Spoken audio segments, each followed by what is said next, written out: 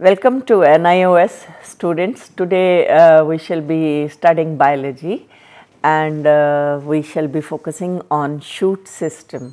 Shoot system basically what is shoot system is it is the uh, aerial and the erect part of the plant body which grows upwards and it is usually above the soil and uh, it develops from the uh, plumule part of the embryo. If you remember that every seed has an embryo in it and the plant develops from the embryo. So, the plumule part of the embryo develops into the shoot system and the radicle part of the embryo develops into uh, root system. So, uh, what is shoot system? It is the uh, stem, branches, leaves, flowers, fruits and seeds. And uh, today uh, in this uh, discussion, we shall study about the structure, types, modifications and functions of the stem and also functions of leaf, flower and fruits. Uh, students you will see that there is a lot of variety of structures of all these parts of the aerial plant and uh, all these variety of structures are as actually associated with the variety of functions they perform. perform. So, there is a simil there is a direct linkage between the kind of structure and the kind of function it performs. So, we shall be uh, studying about stem first and uh, let us see the qualities of the stem uh, it is positively phototropic. Phototropic means uh, it uh, likes light, it tr uh, tries to grow towards light and negatively geotropic. Geotropic means where there is gravitational pull. So, roots will go towards the gravitational pull, but stem will go away from the uh, gravitational pull. So, stem is called negatively geotropic alright.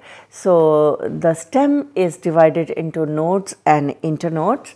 I would like to show you uh, your very familiar plant of neem and from this neem if you focus on its stem part you can see that uh, there is a place called node. These are nodes. This is the node from where the leaf grows out, right? So, nodes are the places from which side branches, flowers or leaves they grow out. And between the two nodes, can you see this branch here? So, focus on this. This is one node from where I have plugged out the leaf and this is another node and the space, space between these two nodes is called internode. So, the stem is now you can see that the stem is divided very clearly into nodes and internodes alright. But root does not divide like this in nodes and internode. So, these nodes only bear branches flowers. Now look at this. This is the node from where this branch has come out, alright. And this is the node where another bud you can see. This bud is bearing future flowers and also the flower, the inflorescence, the these are the buds right now and they will actually eventually in due course of time will develop into flowers. So, this is how stem bears leaves, nodes, internodes, side branches and flowers alright. So, we have to understand that this is how stem, these are the functions that stem, stem performs. Uh, now, there are vegetative uh, buds which can be terminal or apex, apical in their position. Can you see that? I hope you can see now this is the side branch and this is the axillary bud. Can you see this axillary bud? Yes. So, this is the axillary bud and these are the terminal, they are on the apex of the stem, alright. So, this is the side branch if you see, this is the side branch, okay. And on the tip of the side branch is the apical bud which is in this case a floral bud and it will bear fruits in due course of time. So, uh, these are the functions of the stem.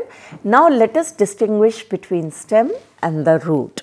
So, uh, stems they develop from plumule and roots they develop from radicle. Young stem, stem is green because of the chlorophyll and non-green uh, are the roots because of the um, no chlorophyll is present in the cells of the root. Now, uh, the stem is divided into nodes and internodes and um, root is not divided into nodes and internodes and the stem bears uh, leaves, vegetative and floral buds and uh, root does not bear such structures and then uh, stem bears um, there is no uh, stem cap but root since it has to grow out of sand particles or the soil particles and there is lot of friction. So, the delicate uh, tissue of the growth of the root tip needs a root cap for protection. So, that is the structure root cap and the function is protection, but stem needs no this kind of cap. Then uh, positively phototropic, uh, it turns towards light, it is negatively geotropic, stem is negatively geotropic because it grows away from the pull of the gravity. Then uh, roots uh, are uh, negatively phototropic, but they are positively geotropic. That means the roots turn towards the gravitational pull. So, now origin of the lateral branches is exogenous and it origins from the outer layers of the endodermis whereas origin of the lateral branches or roots they uh, develop endogenously that means from the inner layers inside the pericycle.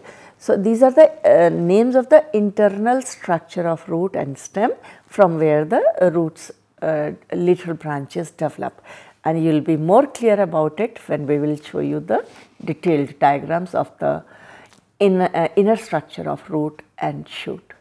All right. So, now let us talk about the uh, shoot apex. Shoot apex is the terminal dome shaped part of the shoot. It is formed of meristem called apical shoot meristem and it is responsible for the development and the differentiation of primary permanent tissue and mainly it causes the growth in length. It is divided into two regions as you can see in the diagram. The upper outer layer is called tunica. Tunica means the covering, the protection and the corpus which is the uh, fast dividing tissue in below the tunica alright. So, this corpus is responsible for the future uh, growth of the shoot and also for forming uh, various uh, other structures of the stem. So, uh, tunica as I told you it is the covering the outer zone of the shoot apex 1 to 3 layers in thickness and it gives rise to epidermis which is responsible for the surface growth. Suppose this is the stem. Now, the shoot tip here gives the outer covering which is epidermis and it gives the protection uh, to the uh, whole shoot all right. So, and the corpus which is uh, the body inside uh, the inner layer uh, multi-layered zones of corpus actually divide in all directions and they finally give rise to procambium now try to understand the word procambium. Cambium means the conductive tissue and pro means uh, preceding it. So, uh, the future vascular tissue is formed from procambium. So, it forms the vascular tissue. By vascular tissue, I mean the xylem and the phloem which do the conduction of water, mineral salts and food which is formed in the leaves. And uh, the ground meristem which forms the ground tissue which is mean uh, girth of the stem and these cells uh, also form the leaf primordia uh, means leaf primordia means a newly developing leaf. Uh, I have already shown you in that uh, uh example. Uh, see it one more time. So, if you can see this, these are the future small baby leaves and before this, these are the inside leaf primordia. So, these are the tissues which develop into future leaves alright. So, uh, this is how uh, various tissues of the stem apex they contribute in making future body parts of the stem. So, uh, the types of stems now we will discuss is that the stem can be aerial mean, means which is erect, rigid, strong and goes upright. For example, in some trees, herbs, shrubs and subaerial which is weak and it grows parallel on the ground. For example, you must have seen money plant or grass which grows on the ground. They can't stand, grass cannot stand erect because it has a weak stem and uh, some money plant kind of plants which can climb up on the walls. So, uh, the underground part of the stem sometimes is uh, buried in the soil and it produces aerial branches at various nodes during the favorable conditions. When the conditions are not favorable, the stem will go underground just to save uh, that uh, harsh weather and uh, when the weather is uh, favorable, then the uh, nodes will produce aerial branches. So, this is how stem perennates or saves itself from the harshness of the weather. Now, what you are seeing is these are the uh, stems which are generally weak, they can't uh, stand erect and they spread on the ground or they hang downwards. Then uh, now let us see some of the modifications of the stem. The stems are variously modified into uh, underground, subaerial and aerial stems for performing functions like manufacturing and storing of food. Uh, what is main function of the stem? Basically stem has to display the leaves in such a manner so that they gather uh, sunlight sufficiently to perform the function of photosynthesis. So, uh, and also perennation, uh, storage of food. So, there are many multiple functions that a stem performs. So, providing mechanical support. Now, see if you see in the neem tree, you must have seen that the uh, neem trees are very strong and they live for uh, years and years together and the stem if you see they develop from a very delicate stem thin uh, stem and over the years it goes on growing growing growing and becomes very thick and strong kind of uh, stem and uh, this is how it provides mechanical support to uh, the leaves so that they are spread nicely in the sunlight and photosynthesis can be performed. So, uh, we shall now try to see the type of stem and the kind of modifications they have. So, underground stem is of uh, four types rhizomes, corm, bulb and tubers and uh, subaerial stems are runner, stolon, offset and suckers. Subaerial means at times they are in the air, at times they go underground and aerial which is completely in the air. Now, I hope you understand all these three categories. Uh, underground is the one which stays below the soil. Subaerial is the one which sometimes it is in air, sometimes it goes under the soil and aerial is the one which uh, stays in the air. So, they can be tendrils, thorns, phylloclads and uh, cladodes. So, I will show you pictures of certain uh, modifications in the coming uh, few minutes. The underground modification, uh, modified stem, since underground they may seem like roots, but you can very well recognize them. What is the main feature of the stem? It has nodes and internodes. So, even if it goes under the soil, it will maintain its primary structure of having nodes and internodes. So, non uh, scaly and non-green leaves and the buds. Uh, now, I will show you one example and you are quite familiar with this. Uh, can you make out what is this? Yes? So, this is the ginger or called adrak. Huh? And uh, can you see the fine lines on this?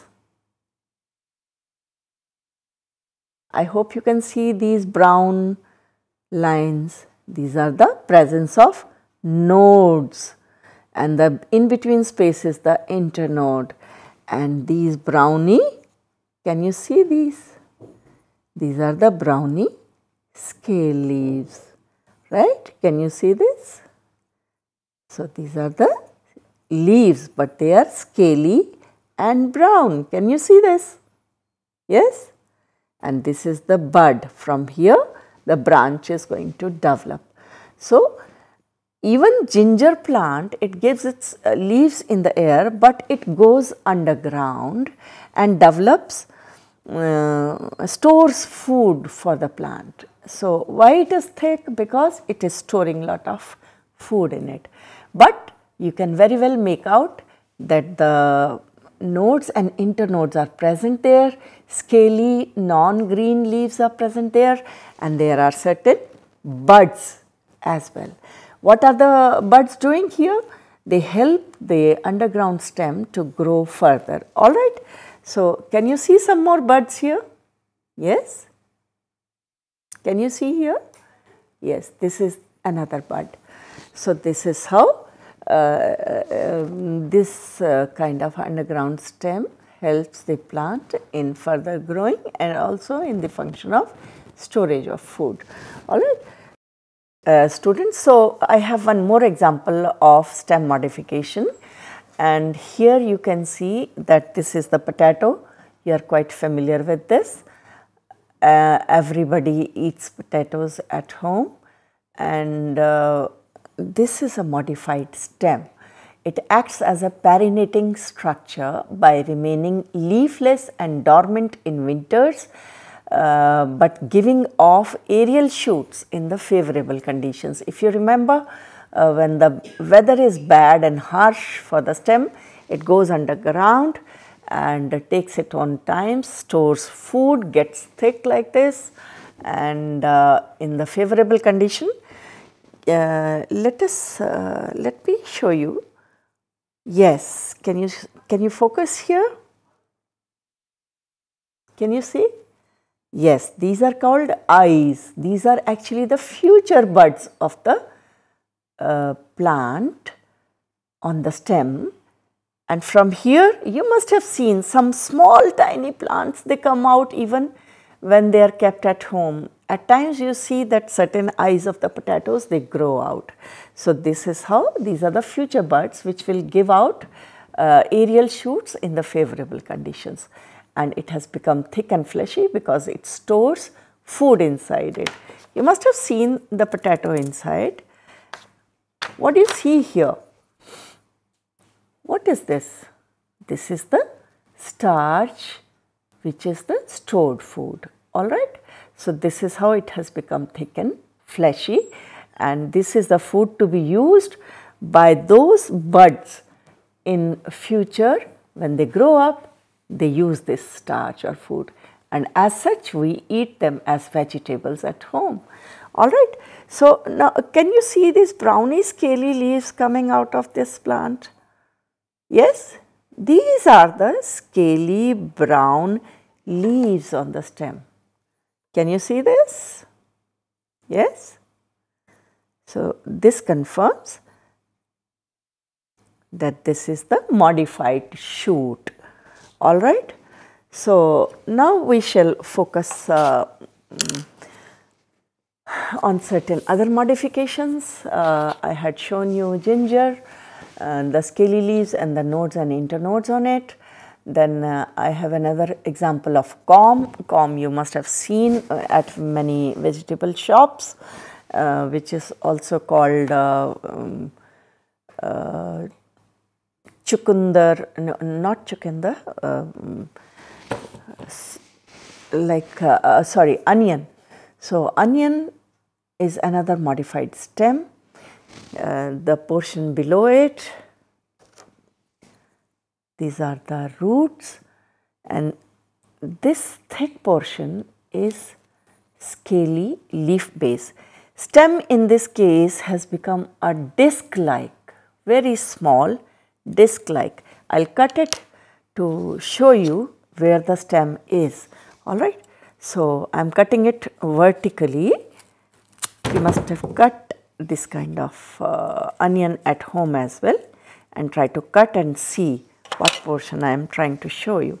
Can you see this now? This is the stem from where I think it is visible now. This is the disc like stem from various leaf bases are coming out and in the middle there is the bud. Bud is the one which is responsible for future growth of the plant. Alright. So, I would like to show you certain more structures. These are the scaly leaves, scaly leaves. Can you see the difference between scaly leaves and the fleshy leaves. These are thick, alright. We use these thick leaves of the onion as food and these scaly leaves generally they are for the protection, they do not store foods, alright. So, this is how uh, now you understand certain uh, stem modifications uh, and uh, now we will proceed further.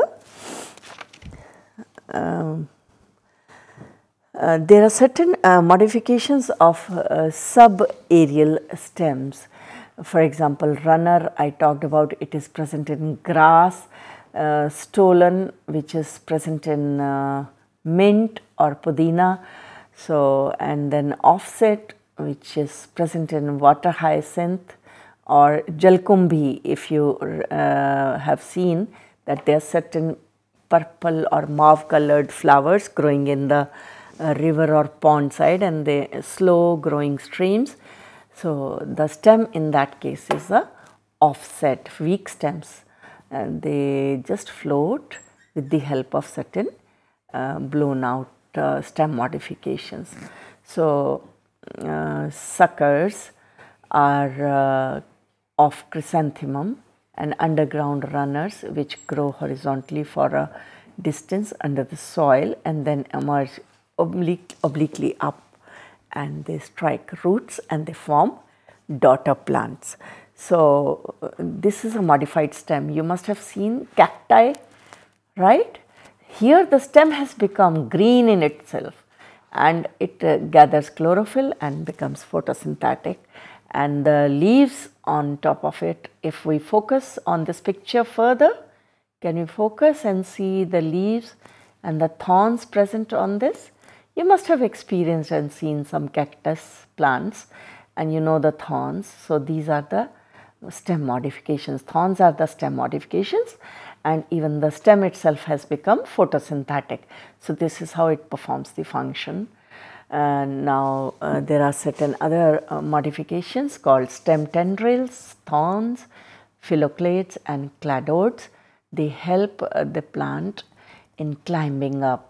Stem tendrils, you must have seen some uh, thin ten, uh, rope kind of structures which uh, gather the support around them and they wind up themselves on certain wires or on the supporting trees and they help the plant stand erect and let the leaves perform the function of photosynthesis. All right. So, thorns are the uh, protective organs which uh, uh, generally save the plant from grazing elements. For example, in case of citrus plants, you must have seen that there are a lot of thorns. Then phylloclades, I showed you the picture just now. And uh, uh, phylloclade or the cladode is the plant with limited growth and only one or two internodes they help in photosynthesis for example in case of asparagus. So um, uh, well uh, now let's talk about the functions of the stem. Primary function is support and orienting the leaves in a manner so that they can be exposed to the maximum sunlight and for efficient gaseous exchange during the photosynthesis and the respiration. So, conducting water and minerals with the help of uh, tissue inside the uh, stem. I would like to show you uh, a stem which I have cut in a transverse manner.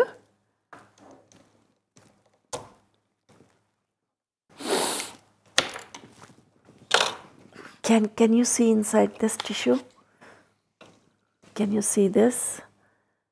This is the peripheral tissue and this is the pith inside and this tissue carries xylem and phloem and they conduct water and minerals from root till the shoot.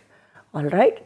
So, this is how stem performs all these functions. It bears flowers and fruits as well and um, uh, storage is the secondary function. Perennation means tiding over the bad unfavorable growing period for example ginger and some many other plants. Uh, vegetative propagation means uh, stem itself can give a new plant for example in case of rose if you remember we cut a column of rose and put it in the soil and um, plant it. And so are the sugar canes we take small internodes of the sugar cane put them in the soil and the uh, buds present on the node they can become the future plant. Uh, so, stem also performs photosynthesis. I have already shown you.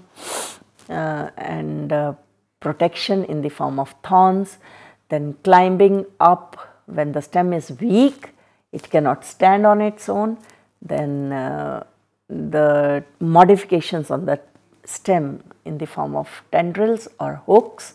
They help the plant to grow up. Uh, then uh, we shall uh, talk about uh, other modifications and uh, some anatomical structures of the stem in the subsequent uh, lecture. So, students today you have studied about the aerial part of the plant which is stem and various structures that stem bears and how the structure and the function of the plant are related and certain modifications of the stem which help the plant in performing various other functions. So, with this we uh, conclude today's uh, uh, STEM topic. Thank you so much.